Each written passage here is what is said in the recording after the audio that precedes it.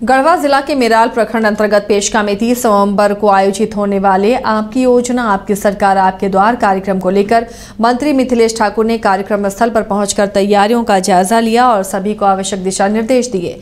आपको बता दें कि आपकी योजना, आपकी सरकार, आपके द्वार कार्यक्रम के माध्यम से समाज के अंतिम पंक्ति तक सरकारी योजनाओं का लाभ पहुंचाना और उनके द्वार पर जाकर उनकी समस्याओं का समाधान करना कार्यक्रम का मुख्य उद्देश्य है।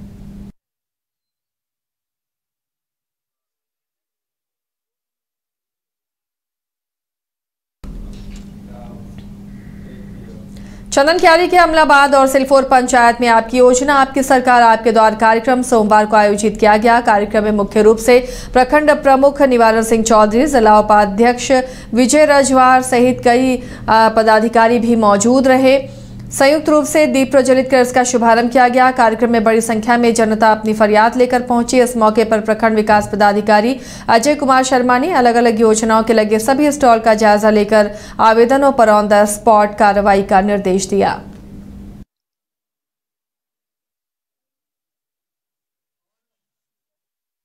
हेमंत सोरेन जी को धन्यवाद कहेंगे और आप लोग एक सवाल किया लोग कह रहे हैं कि इम्प्लीमेंट नहीं हो रहा है। हम आपसे पूछना चाहते हैं कि आज से ठीक अठारह साल पहले जब झारखंड रा, राज्य का निर्माण हुआ तो हम लोग अधिकारी को देखने के लिए तरसते थे। आज देखिए वही अधिकारी आपके गाँव पंचायत में विवश हो रहे हैं बैठने के लिए और लोगों का समस्या पूछ रहे हैं कि आपकी समस्या क्या है और आप कौन सा सरकार की जो योजना है उस योजना से योजना का लाभ लीजिए और सरकार का योजना से जुड़िए। और अधिकारी दिवस से आज आपके पास बैठने के लिए और बैठ भी रहे हैं। तो हम तो कहेंगे यही चीज़ कि हम जितना भी धन्यवाद कहेंगे कम होगा और विशेष धन्यवाद के पात्र हैं हमारे राज्य के मुख्यमंत्री हेमंत सोरेन जी। ये एक बार नहीं, दो बार नहीं, तीसरा बार और लगातार पूरे विश्व में ये जो सरकार आपके द्वार कार्यक्रम चल रहा है, इसका सराहना हो रहा है। और निश्चित रूप में लोगों का काम भी हो रहा है।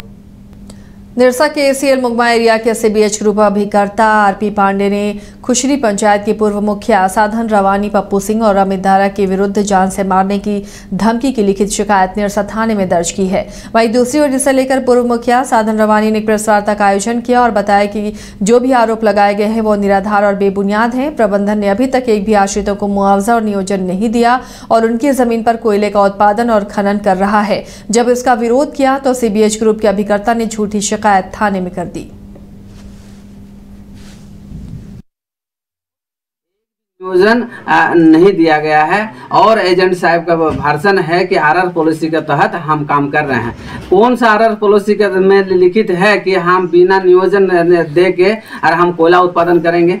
आज तीन साल से तीन साल से आज बोलते कि तीन साल से वो लोग कोयला उत्पादन कर रहा है प्रबंधन, लेकिन एक भी नियोजन अगर दिया है तो बता दें। आज पैंतीस एकड़ लगभग इस इस बार जो स्वीकृति हुआ है, उसमें इकतीस एकड़ लगभग स्वीकृति हुआ है, और पूर्व में चार एकड़ का स्वीकृति का जो बोर्ड ऑफ़ डायरेक्टर का है, उसका ज़मीन पहले से काट लिया था। वो लोग का तो पैंतीस एकड़ ज़मीन का एक भी नियोजन अभी तक नहीं दे पाया है और इतना दबंगिरी करके ओसीपी को जो चलाने का काम कर रहा है। भोला भला जनता जो ग्रामीण है वो लोग वो लोग से मतलब ऐसे भाई दिखा के आज काम करने का काम कर रहा है। इसमें अगर इस तरह का अगर प्रबंधन अगर नहीं सुनेगा तो इस, इस जोरदार आंदोलन बागमारा अनुमंडल पुलिस के ईस्ट बसूरिया पुलिस को दो आपराधिक मामलों में सफलता हाथ लगी है। बागमारा डीएसपी निशा मुर्मू ने प्रेस वार्ता कर बताया कि ईस्ट बसूरिया ओपी पुलिस ने गुप्त सूचना के आधार पर एक देसी कट्टा और एक ज़िंदा कारतूस के साथ तीन अपराधियों को धर दबोचा है। वहीं दूसरे मामले में छब्बीस नवंबर को ही निचितपुर खटाल निवासी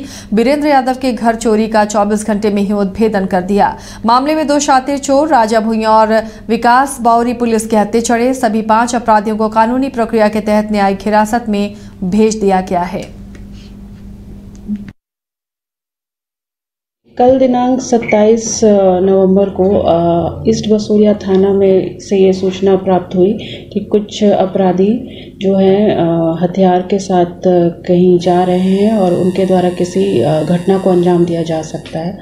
तो इस संदर्भ में हम हमारी जो ईस्ट बसोरिया के थाना प्रभारी अपनी टीम के साथ घटनास्थल पर पहुँचे और वहाँ से उन्होंने तीन अभियुक्तों को गिरफ़्तार किया, जिनके पास एक देसी कट्टा, एक ज़िंदा गोली और एक बिना नंबर का काला रंग का पल्सर मिला।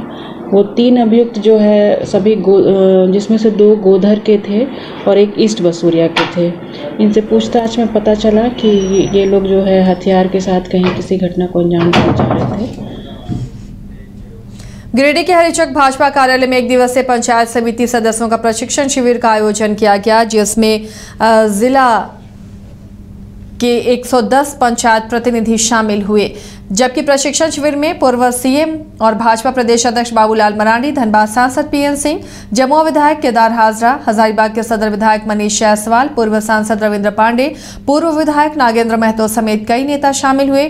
मौके पर बतौर प्रशिक्षक और भाजपा प्रदेश अध्यक्ष बाबूलाल मरांडी ने कहा कि आज़ादी के बाद देश में विचारधारा के अनुसार चलने वाले दल जनसंघ का गठन हुआ, लेकिन इसके बाद इसे भारतीय जनता पार्टी में तब्दील किया गया। ट्रेनिंग में मौजूद पंचायत समिति सदस्यों से भाजपा नेता बाबूलाल मरांडी ने कहा कि संगठन को मज़बूत करने की सबसे बड़ी जिम्मेवारी पंचायत प्रतिनिधि पर है।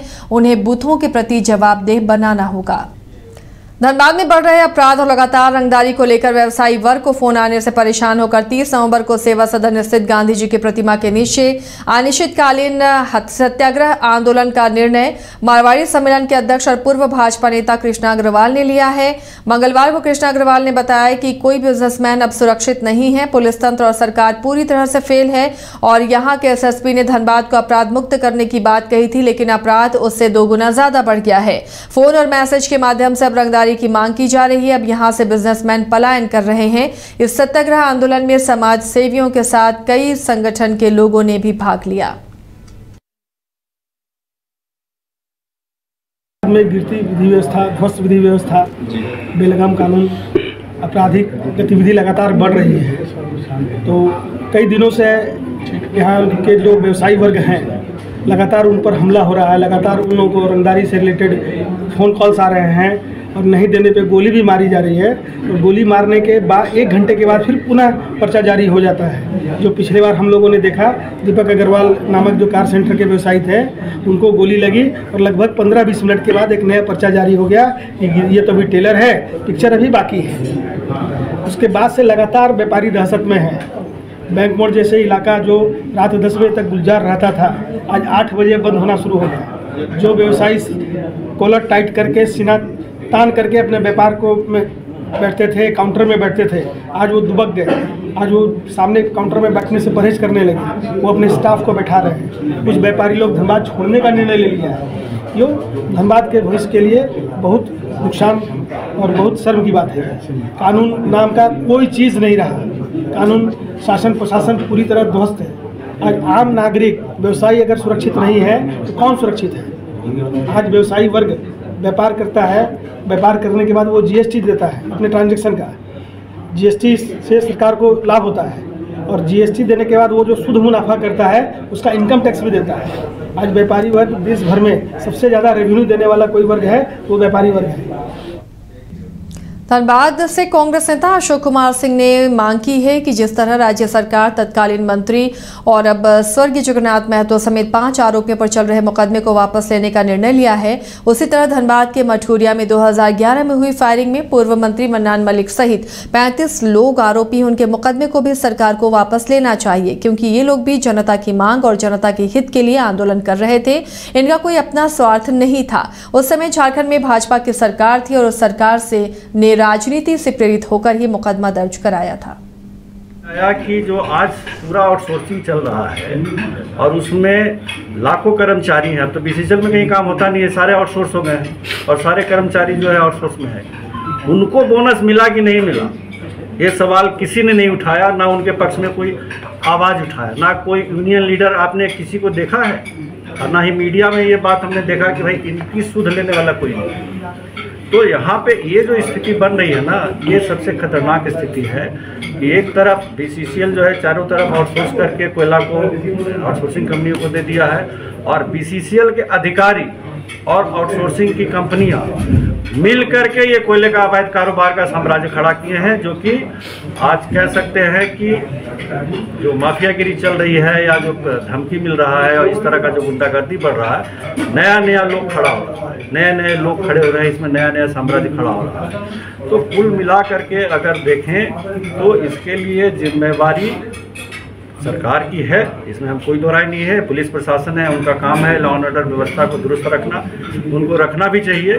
लेकिन हमारे जो नेता हैं धनबाद के, क्योंकि पदाधिकारी तो आते हैं, साल छः महीना, दो साल रहते हैं, चले जाते हैं। लेकिन जो यहाँ से चुनाव लड़ते हैं या जो यहाँ ट्रेड यूनियन का काम करते हैं, उनके ऊपर जिम्मेवारी ज़्यादा है, बनस्बत की खाकी की खाकी से ज़्यादा खादी की ज़िम्मेदारी है कि अपने शहर को हम साफ़ और सुरक्षित रखें और यहाँ जो काम करने वाले लोग हैं मजदूर, उनके भी हितों का ख्याल रखें।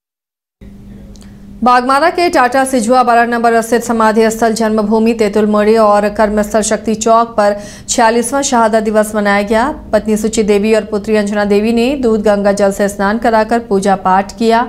मौके पर टुंडी विधायक मथुरा प्रसाद महतो, पूर्व मंत्री जलेश्वर महतो, डॉक्टर अरुण कुमार महतो, रतिलाल रतिलाल टुडू अजमुल अंसारी प्रेमा पांडे, शारदा सिंह सहित कई गणमान्य लोग शामिल हुए।